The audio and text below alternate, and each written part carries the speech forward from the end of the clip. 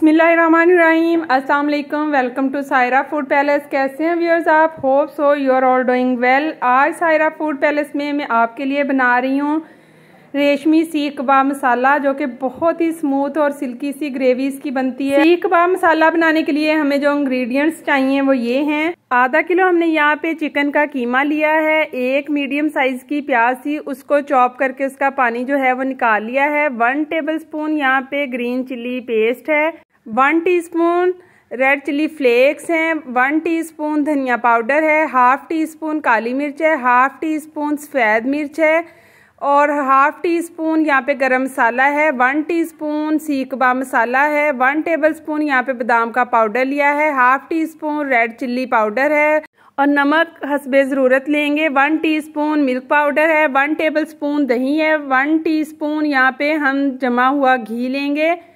और एक table spoon एक खाने का चम्मच हम यहाँ पे क्रीम ऐड करेंगे इसमें।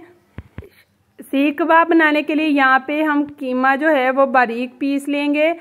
और अब कीमे में हम सबसे पहले यहाँ पे प्याज और सब्ज़ मिर्चें जो हैं ये शामिल करेंगे। प्याज जो हैं इनमें पानी बिल्कुल भी नहीं होना चाहिए। और साथ ही हम इसमें ऐड कर देंगे वन टीस्पून जो हमने जमा हुआ घी लिया था वो।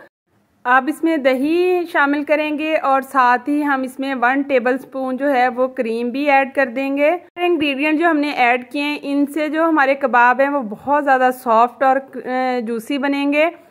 अब हम इसमें शामिल करते हैं सारे ड्राइड स्पाइसेस इसमें जो है बादाम का जो है, इससे भी बहुत अच्छा फ्लेवर आता है। इसको अगर आप स्किप करना चाहें तो स्किप भी कर सकते हैं। आप इन स्पाइसेस का स्क्रीनशॉट भी ले सकते हैं। इसको अच्छी तरह से मिक्स करें और एक घंटे के लिए इसे मैरिनेट होने के लिए रख दें। और ये हमारा जो सारे स्पाइसेस हैं, इसमें अच्छी तरह से मिक्स हो चुके हैं। अब इसमें हम वन टीस्पून जिंजर पेस्ट और वन टीस्पून ही गार्लिक पेस्ट जो है, ये शामिल करेंगे और इसको हम थोड़ी देर के लिए रेस्ट देंगे। अब इसको आप प्लास्टिक रैप से कवर कर दें या आप किसी प्लेट से भी करके रख दें। उतनी देर में हम इसका जो है मसाला रेडी करते हैं। मसाला तैयार करने के लिए हमने कढ़ाई में जो है वो आधा कप तेल लिया है या घी, जो कोई भी चीज़ आप ले सकते हैं।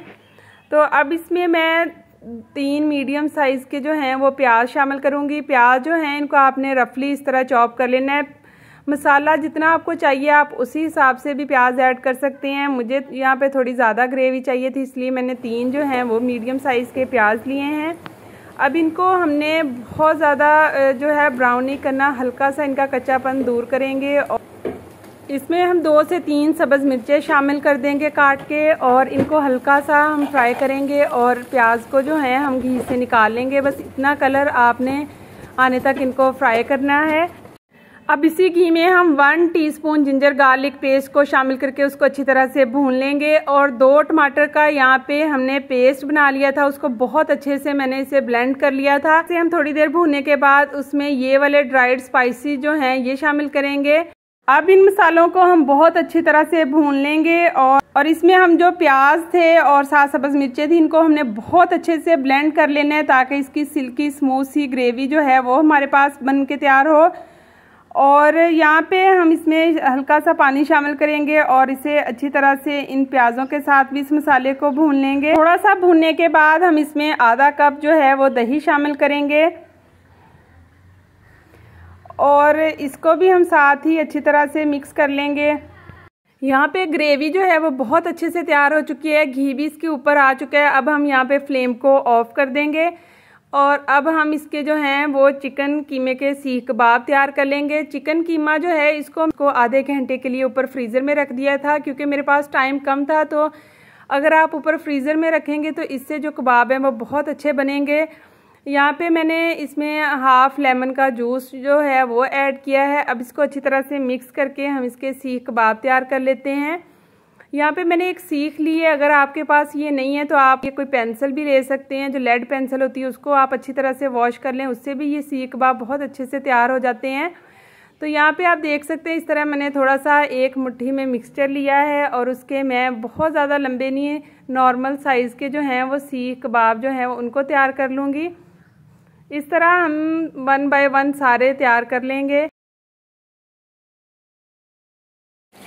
और अब हम इनको लो टू मीडियम फ्लेम पे जो है, वो थोड़े से ऑयल में फ्राई कर लेंगे। आपने इनको डीप फ्राई नहीं करना, बिल्कुल हल्का सा शैलो फ्राई करना है। और कलर भी आपने बहुत ज़्यादा डार्क ब्राउन नहीं करना, बस हल्का सा कलर देना है। और इनको लो फ्लेम पे लो टू मीडियम फ्लेम पे कुक करेंगे तो ये बहुत इजीली जो है, वो कुक हो जाएँगे। यहाँ पे आप देख सकते हैं, कबाब सारे फ्राई हो गए हैं। और उसी ऑयल में मैंने फिर प्याज और शिमला मिर्च इसको क्यूब फॉर्म में कट कर लिया था।